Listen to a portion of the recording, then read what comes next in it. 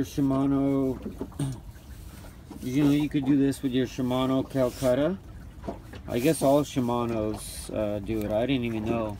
There's this thing right here on the side. It looked different than the other two. So I was like tweaking with it. I'm like, is that the drag system extra? Bam, did you see that? You loosen it up. And this right here on the side opens up. Like that. Sick. And inside of it, there's those, uh, see those plastic pins that they normally have? Shimano's. And you could uh, spin it around.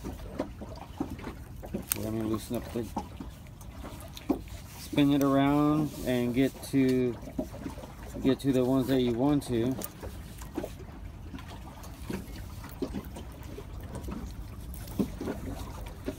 You see? you could do whichever one you want. So normally it's two two of them should be out.